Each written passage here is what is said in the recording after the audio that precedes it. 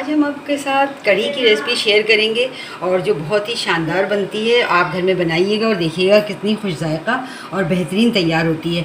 तो अब हम आते हैं इसके इंग्रेडिएंट्स की तरफ़।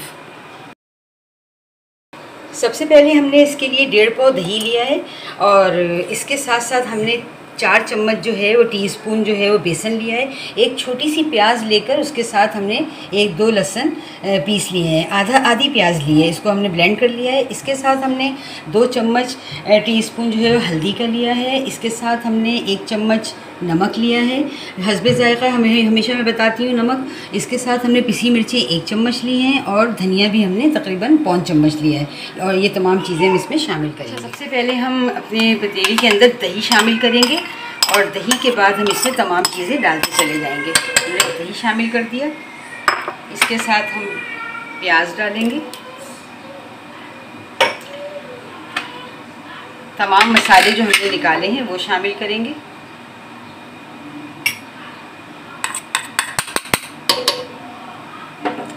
पिसी मिर्ची और नमक। अच्छा इसके बाद हम थोड़ा सा इसको मिक्स करेंगे। हैंड बीटर ले लें आप ब्लेंडर में कर लें, या किसी चम्मच से कर लें, जिससे आपको सहूलत हो, ताकि दही बिल्कुल मिक्स हो जाए। इसमें थोड़ा सा पानी डालते जाएँगे, ताकि ये अच्छी तरह मिक्स हो जाए।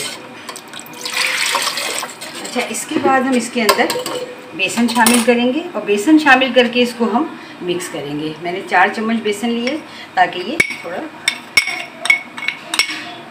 इसी मकदार में डालने से आपका दही, आपकी कढ़ी जो है वो अच्छी बनेगी। अब इसको इतना मिक्स करना है कि इसके अंदर कोई लम्स ना रह जाए। अच्छा हमने इसको अच्छी तरह मिक्स किया है। आप भी इस तरह अच्छी तरह मिक्स कर लीजिएगा। और इसके बाद जो है इसको मैंने इसकी लो फ्लेम रखी है। शुरू में आप इसको तेज़ आँच पे इस पर बॉयल ले सकते हैं जब ये उबल जाए। उसके बाद आप मीडियम आँच रखिएगा, नहीं तो कड़ी जो है वो उबल जाती है। और ढक्कन इसके ऊपर, जैसे मैं बता रही हूँ इस तरीके से इसमें ढक्कन ढकिएगा जो थोड़ा सा खुला हुआ रहे। और इसके अंदर अब हम पानी भी शामिल कर देंगे। ये हमारा मुकम्मल तैयार हो चुका है मटेरियल अब हम इसको ढक देंगे। और इसके उबाल आने का इंतज़ार करेंगे कि ये बॉयल हो जाए, उसके बाद ये पकता रहेगा। अभी मैंने थोड़ा सा फ्लेम को तेज़ किया है।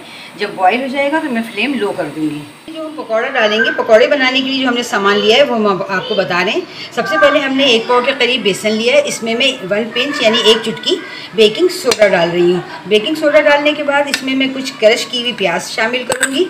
इसके साथ साथ मैं इसमें थोड़ी सी हरी मिर्च शामिल करूँगी। आप हरा धनिया भी शामिल कर सकते हैं। और इसके साथ में एक चम्मच कुटी मिर्चें शामिल करूँगी।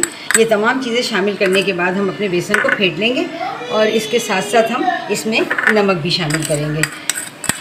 अब हम इसको फेंट के अच्छी तरह अच्छी तरह फेंटिएगा और फेंटने के बाद हम इसको तकरीबन पंद्रह मिनट के लिए रखने के बाद फिर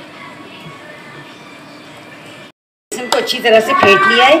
आप भी इसको अच्छी तरह से फेंट लें। अच्छी तरह से फेंटने के बाद मैं इसमें एक चुटकी वन पिन जो है ये कलर डालती हूँ फ़ूड कलर ताकि थोड़ा इसमें कलर इसका अच्छा बन जाता है। यानी बिल्कुल सफ़ेद सफ़ेद से पकौड़े नहीं बनते, बल्कि काफ़ी खुश रंग बनते हैं। ये डाल के आप इसको मिक्स कर दें और इसको आधे घंटे के लिए रख दें। खूब अच्छी तरह इसको फेंटिएगा। जितना बेसन अच्छा पिटा हुआ होता है, उतनी ही पकौड़े शानदार बनते हैं। ये हमारा बेसन रेडी हो गया है। कढ़ी के बघार के लिए जो हमें चीज़ें चाहिए, उसके लिए हम ऑयल डालेंगे। इसके साथ साथ हम हम प्याज लिए मैंने, ज़ीरा लिया है, साबुत गोल मिर्चें लिए इसके साथ मैंने कड़ी लीव्स लिए यानी कड़ी पत्ता, इन तमाम चीज़ों के साथ हम भगार कर हैं। जितनी ज़्यादा कढ़ी आप पकाएँगे, इतनी खुशबू और जायका इसमें बढ़ेगा। इसके साथ साथ हम जो बेसन मैंने फेंटा था, अब हम पकौड़े बना रहे हैं, ताकि कढ़ी के अंदर डाल सकें। फ्लेम हमने दरमियानी रखी है, ताकि हमारे पकौड़े जो हैं वो सही बने। अच्छा मैं छोटे छोटे पकौड़े डालती हूँ उसकी वजह ये है कि ये अंदर से भी पक जाते हैं। बहुत बड़े पकौड़े जो हैं वो दही में जाने के जाने के बाद अजीब सा जायका देते अच्छा हमने अपने पकौड़ों को मुकम्मल तलने के बाद पानी में डिप किया ताकि ये थोड़े सॉफ्ट हो जाएँ और पानी में से निकाल के हमने इसको रख लिया है। आप इसी तरह कीजिए। और दही के अंदर कढ़ी के अंदर शामिल करेंगे और शामिल करने के बाद इसके अंदर भगार करेंगे। और हम इसके अंदर भगार डालेंगे जो कि हमने तैयार कर लिया है।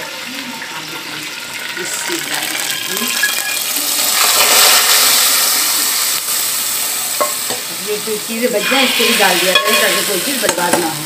चले जी, हमारी कढ़ी रेडी हो गई, अब हम डिश आउट करेंगे।